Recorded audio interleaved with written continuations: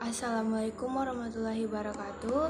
Saya Jumria Purnamasari akan membacakan puisi yang berjudul Tanah Ini Milik Kita. Aku tak ingin melihat bangsaku tersungkur oleh waktu. Aku tak ingin melihat bangsaku tenggelam oleh kehancuran penjajah. Tekad setinggi langit untuk tanah air. Mereka berkorban, percaya diri, maka penjajah pun akan pergi.